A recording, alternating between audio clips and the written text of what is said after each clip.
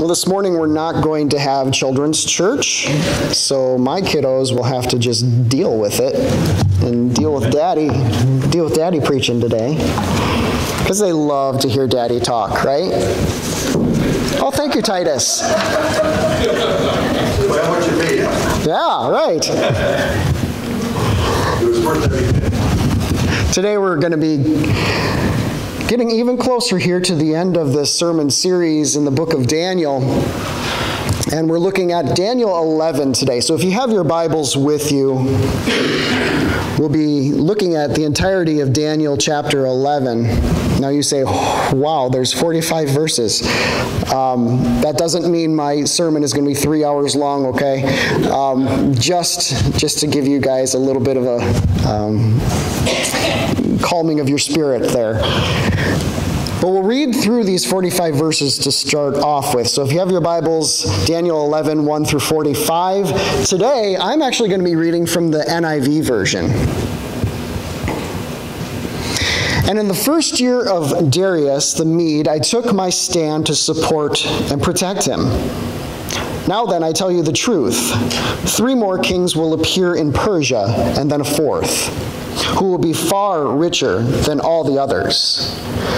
When he has gained power by his wealth, he will stir up everyone against the kingdom of Greece. Then a mighty king will appear, who will rule with great power and do as he pleases. After he has appeared, his empire will be broken up and parceled out towards the four winds of heaven. It will not go to his descendants, nor will it have the power he exercised, because his empire will be uprooted and given to others. The king of the south will become strong, but one of his commanders will become even stronger than he and will rule his own kingdom with great power. After some years, they will become allies. The daughter of the king of the south will go to the king of the north and make an alliance, and she will not retain her power, and he his power will not last. In those days, she will be handed over, together with her royal escort and her father, and the one who supported her. One from her family line will arise to take her place. He will attack the forces of the king of the north and will enter his fortress. He will fight against them and be victorious. He will also seize their gods, their metal images, and their valuable articles of silver and gold and carry them off to Egypt. For some years he will leave the king of the north alone.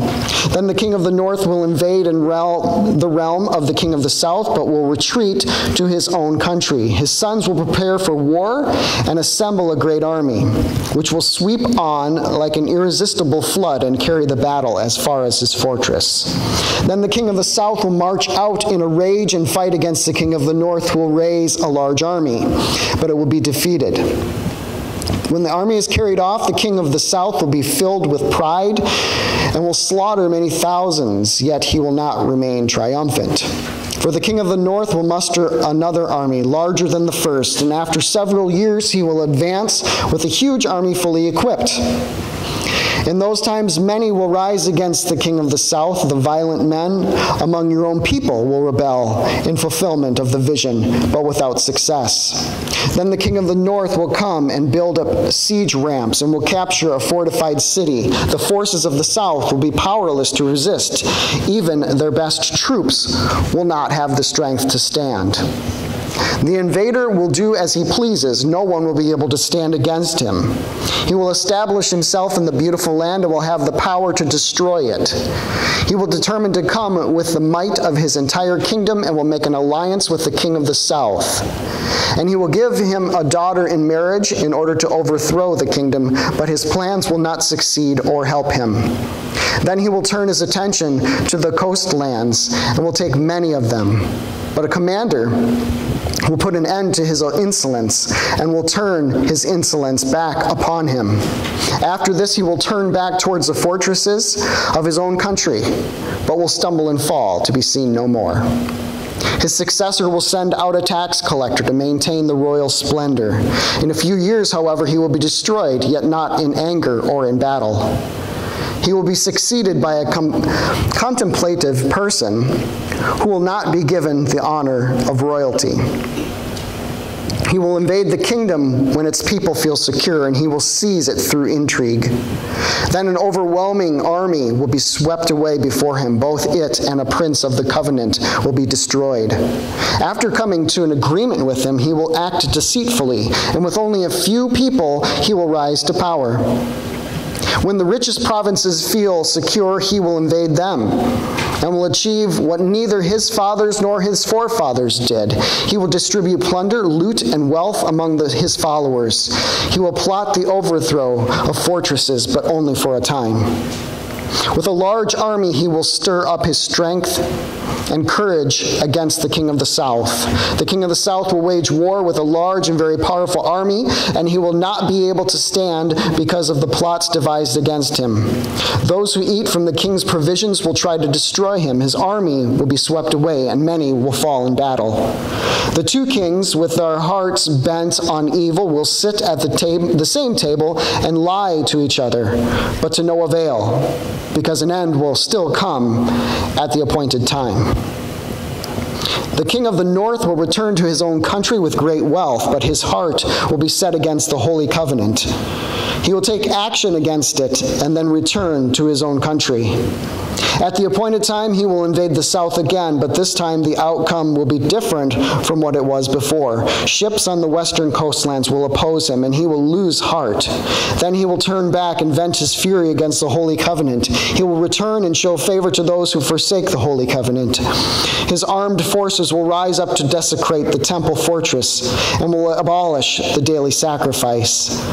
Then they will set up the abomination that causes desolation. With flattery, he will corrupt those who have violated the covenant, but the people who know their God will firmly resist him. Those who are wise will instruct many, though for a time they will fall by the sword or be burned or captured or plundered. When they fall, they will receive a little help, and many who are not sincere will join them.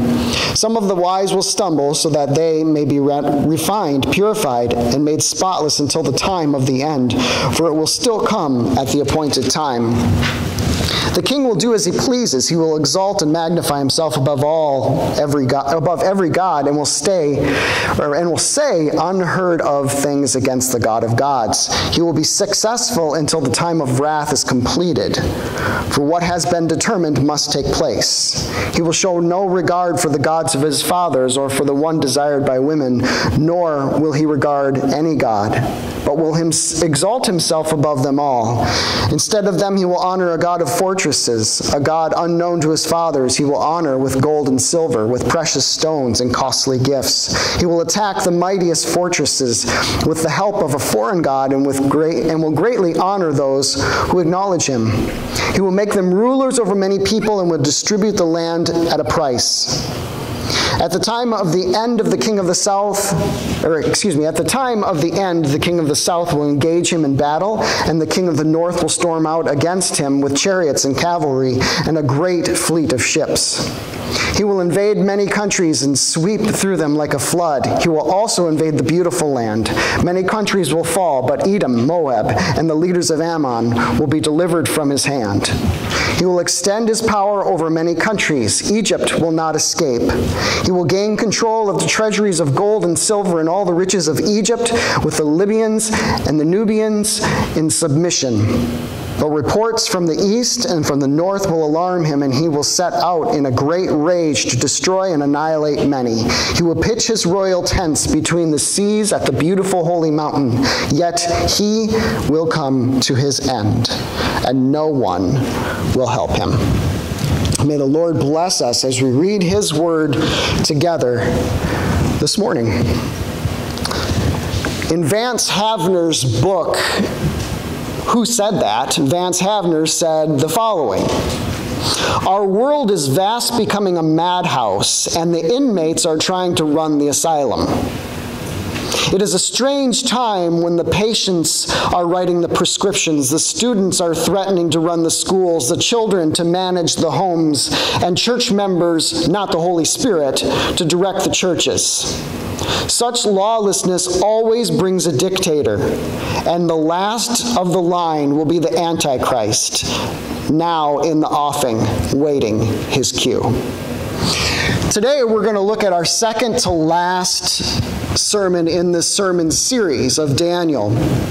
In particular, today we're going to see how chapter 11 goes into greater detail of what I've covered thus far in this profile of the Antichrist. We've touched a little bit on him in these past few sermons here, but today is going to be a main focus on what he is like. And this is all going to take place. This is all future to us. So, so if there's there's history in this and what we're going to cover today, but where there's also uh, a good chunk of it in this message today that applies to us today and is still yet future coming. I remember as a kid hearing my pastor and listening to sermons from pastor, author, and teacher Chuck Swindoll um, preach on sermons that dealt with the Antichrist. And I remember being fascinated about this and the end times events. And maybe you're that way too, maybe you just don't care, um, but hopefully today you get something out of it. For the sake of time, we're not going to be able to dig too deeply into uh, all that we could about this future character.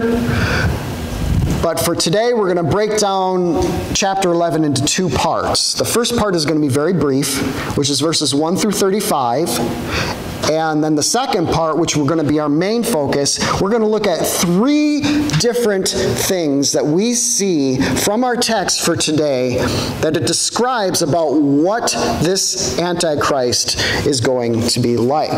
So, those are the two things that we're going to look at today. We'll start off with this first section, verses 1 through 35, this Greek Empire and Antiochus Epiphanes, which is history to us. Now, once again, I'm not going to spend a whole lot of time on these first 35 verses simply because um, I want to focus on the second part of this chapter. But what verses 1 through 30, 1 through 35, uh, if we take them as a chunk, it can be broken up into two parts. And the first comes in verses 1 through 4. And this really sets the stage for this vision here because this is, if you'll remember, this is the last vision that Daniel receives. This is the, this is the, the, the big chunk of this vision. We looked at the kind of the beginning part of it last week. We're looking at the big chunk of it today, and we're going to look at the end of the book next week. Now, let me just say this about this first part here. You and I will miss the point of this passage of Daniel unless we realize that the whole reason that God revealed this vision in the manner that he did was to move Daniel to pray more effectively for the people of God. We know that Daniel's heart was to see him and the Israelites get back to Jerusalem. That was his heart. But God wanted to take this vision that he was giving to Daniel and show him, I hear your prayers about this, as we saw last week with the angel answering his prayer. I hear your prayers about this and how you want your people to get back to Jerusalem. But my plans for Israel are so much greater and go so far beyond when you actually do return to the promised land.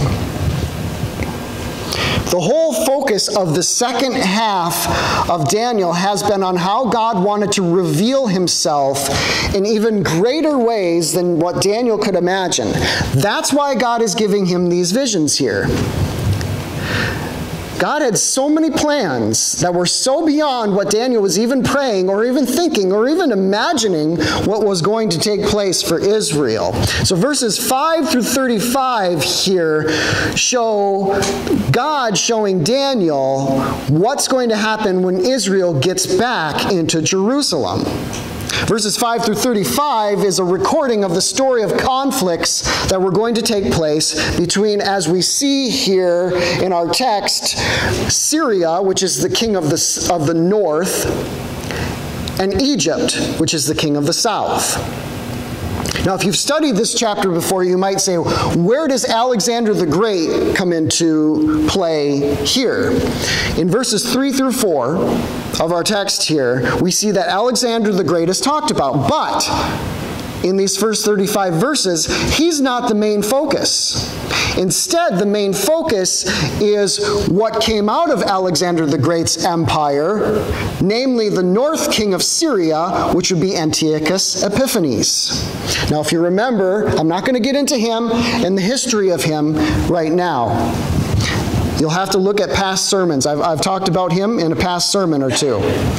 But for those of you who don't remember, just remember that he was one bad dude. And he hated the Jews with a passion. And he did detestable things to them and to the temple of God. Obviously, all of this is history to us.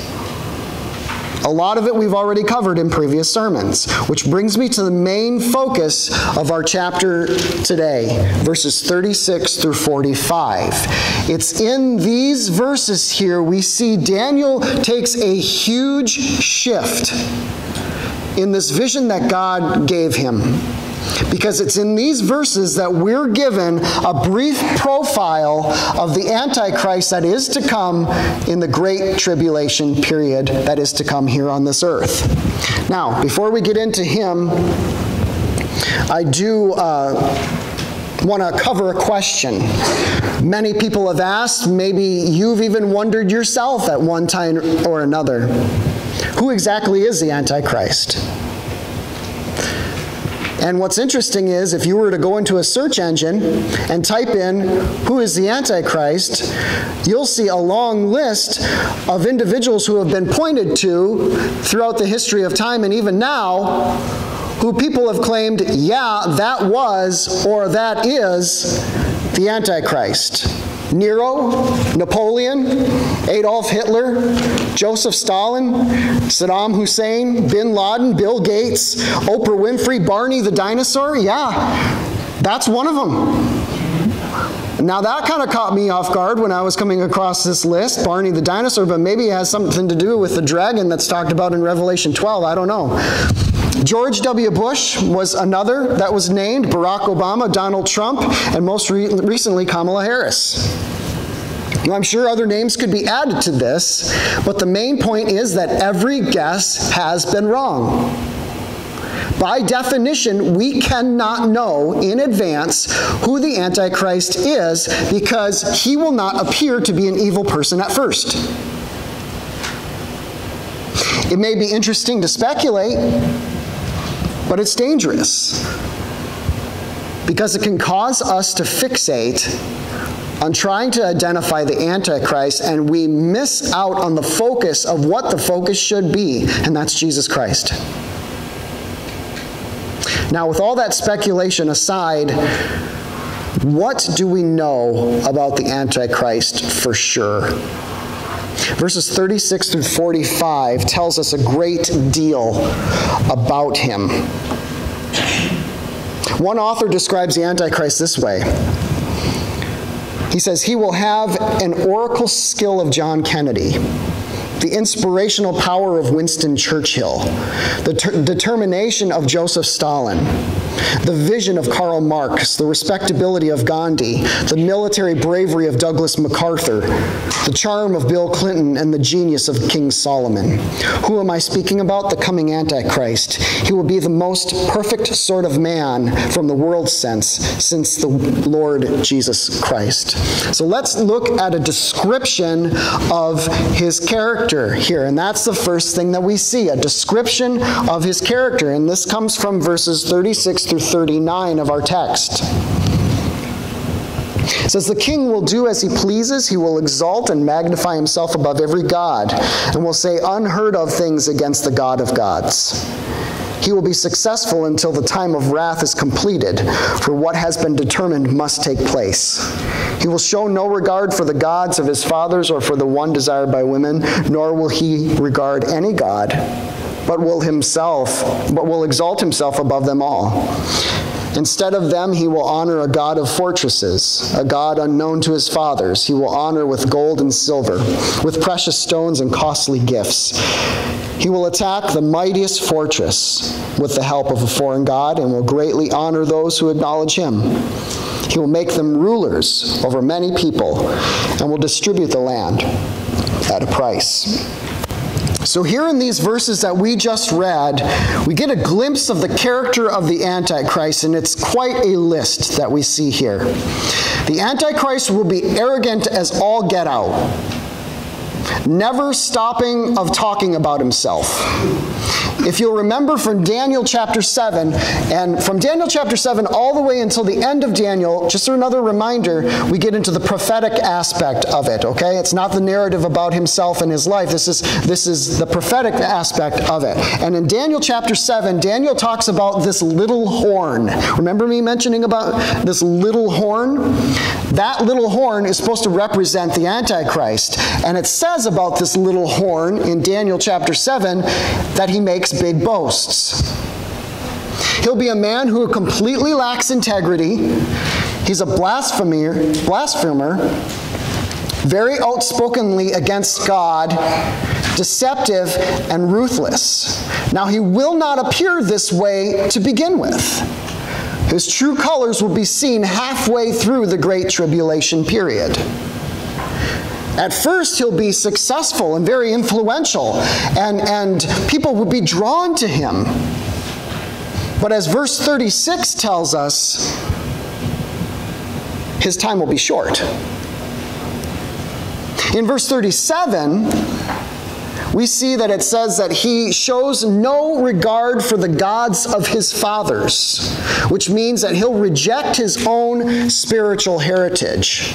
Now, some Bible scholars say that he'll be of Jewish descent. But I disagree with that. And the reason I disagree with that is if you go back to Daniel 7, where it talks about him as the little horn, it says that this little horn will come out of the Roman Empire. Maybe you've heard this question before, maybe you've asked this question before, maybe you've pondered this question before. Where's the Antichrist going to come from? Like, which country or which continent is he going to come from? Many have guessed the United States, Russia, Middle East. But if you stick with what I just mentioned from Daniel chapter 7, it shows us that he's going to be of European descent. Whatever the case, I, I hold to the belief that he's going to be a Gentile. And whatever spiritual background he comes from, he's, he's going to reject it completely. Some other characteristics here that we see that are revealed about him here in verses 36 through 39 is that he'll oppose organized religion and will set himself up as God to be worshiped. Second Thessalonians chapter 2 verses 1 through 4 calls this the abomina abomination that causes desolation. And what that means is that he's going to order all of the sacrifices in the rebuilt temple in Jerusalem to be halted and is going to order people to worship him. Hold your place here in Daniel and let's look at this. Second Thessalonians chapter 2 verses 1 through 4. 2 Thessalonians chapter 2.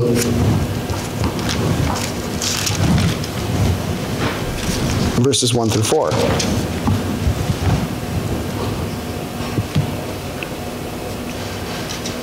Concerning the coming of our Lord Jesus Christ and our being gathered to him, we ask you, brothers, not to become easily unsettled or alarmed by some prophecy, report, or letter supposed, supposed to have come from us, saying that the day of the Lord has already come. Don't let anyone deceive you in any way. For that day will not come until the rebellion occurs and the man of lawlessness is revealed, the man doomed to destruction. He will oppose and will exalt himself over everything that is called God or is worshiped, so that he sets himself up in God's temple, proclaiming himself to be God. Now, back to verse 37 of our text for today.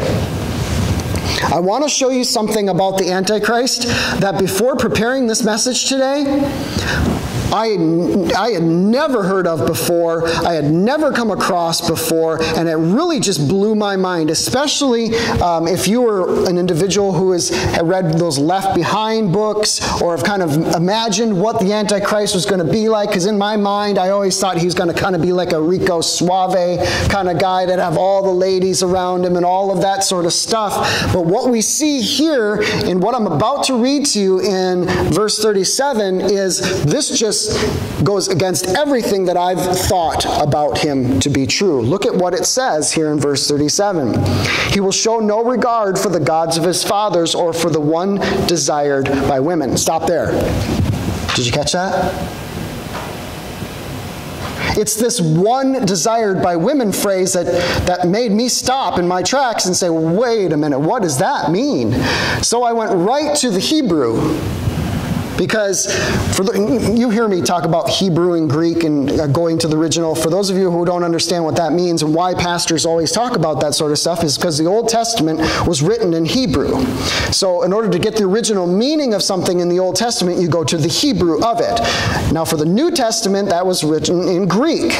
And so if you want the original meaning of that, you go to the Greek. So I went to the Hebrew for this because this is in the Old Testament, and I the best description that I could find find for it comes from the New American Standard Bible, and it says this And he will show no regard for the gods of his fathers or for the desire of women. What does that mean? That means that maybe he could be homosexual.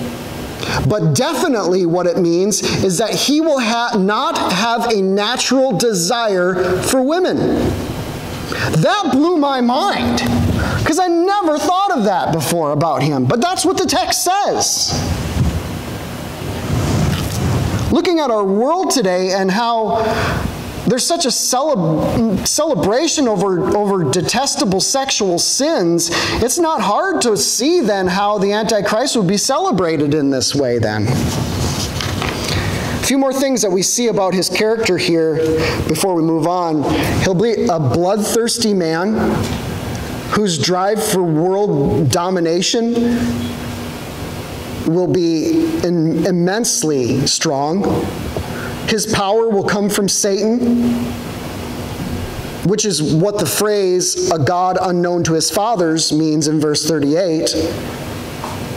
He'll reward those who follow him and for a short period of time, he will look like the Savior the world has been looking for.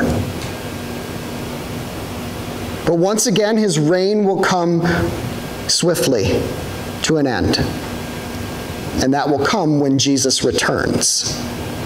And that's what we're going to transition into next here the Battle of Armageddon. Look at verses 40 through 44 of our text here in Daniel 11. At the time of the end, the king of the south will engage him in battle, and the king of the north will storm out against him with chariots and cavalry and a great fleet of ships. He will invade many countries and sweep through them like a flood. He will also invade the beautiful land. Many countries will fall, but Edom, Moab, and the leaders of Ammon will be delivered from his hand. He will extend his power over many countries. Egypt will not escape. He will gain control of the treasuries of gold and silver and all the riches of Egypt, with Libyans and Nubians in submission. But reports from the east and the north will alarm him, and will, he will set out in a great rage to destroy and annihilate many. He will pitch his royal tents between the seas at the beautiful holy mountain. Yet he will come to his end, and no one will help him. What we just read here was a description of nations that will rise against the Antichrist and his military, and they'll declare war. Now remember, as Daniel is writing this, geographically, the focal point of where all of these kingdoms are coming in from is Jerusalem. Jerusalem's the, the, the, focal point of when it talks about kings from the east, north, south. Those are all coming in, and Jerusalem's the center of that.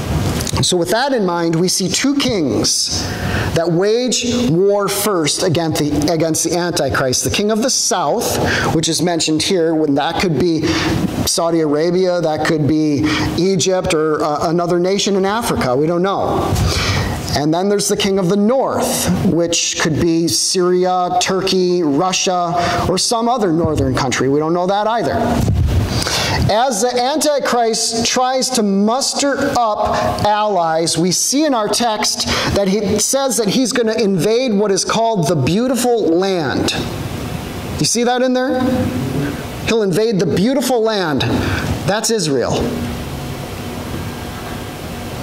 It's then that the Great Tribulation period is really going to get going when kings from the east will wage war on him, that could be Iran, that could be Iraq, that could be Pakistan, that could be India, that could be China, that could be Japan, some other northern, or excuse me, eastern nation. And what we call the Battle of Armageddon will start to take place which essentially is a huge military involvement of many nations, of many armies, lots of battles, hundreds of millions of soldiers. A war that has never of the likes taken place here on earth and never will again.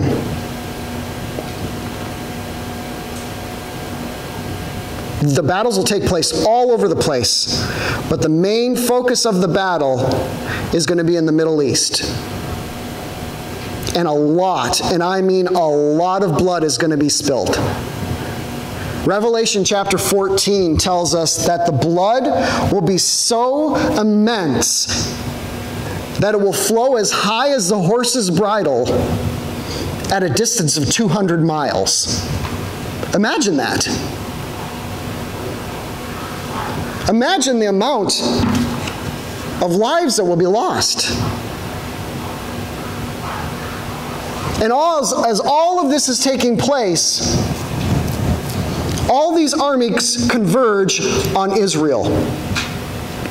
It's then that the final stage is set and the reign of the Antichrist comes to an end. And that's the last thing we're going to see here today the Antichrist's fall. Look at verse 45 one more time. He will pitch his royal tents between the seas at the beautiful holy mountain, yet he will come to his end, and no one will help him. If you've ever wondered where exactly the final battle is going to take place, this verse just told you.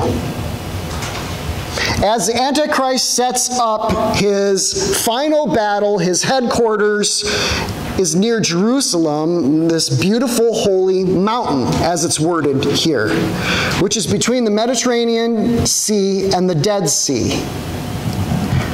And this final battle is going to take place in what is called the plains of Jezreel, or in central Israel, near crossroads of Mount Megiddo. In the Hebrew, the term the mountain of Megiddo means Har Megiddo. So it's not hard to see that translated into English, we get Armageddon. Even though verse 45 doesn't tell us how the Antichrist is defeated. Revelation 19 does. And it's when Christ returns with us as the church to defeat the Antichrist, his armies, and it sets up the Christ's millennial kingdom on earth. I want to close today by looking at these what I think are fascinating verses in Revelation 19. So turn there with me if you would. Revelation 19, 11 through 21.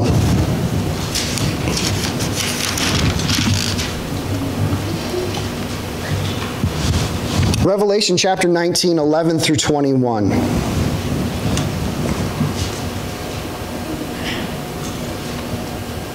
I saw heaven standing open, and there before me was a white horse, whose rider is called Faithful and True. With justice he judges and makes war. His eyes are like blazing fire, and on his head are many crowns. He has a name written on him that no one knows but he himself. He is dressed in a robe dipped in blood, and his name is the Word of God. That can only be talking about Jesus. The armies of heaven were following him, riding on white horses and dressed in fine linen. That's you and I as the church. White and clean. Out of his mouth comes a sharp sword with which to strike down the nations.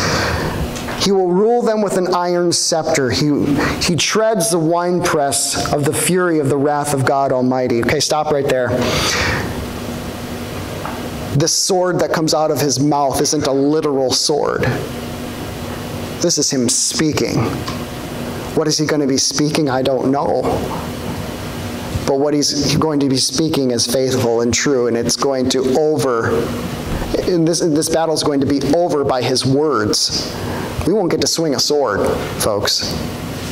This battle is going to be over by him just speaking. And that really shouldn't surprise us. Because if you go back to the very beginning of Genesis, it's words spoken that created everything anyway.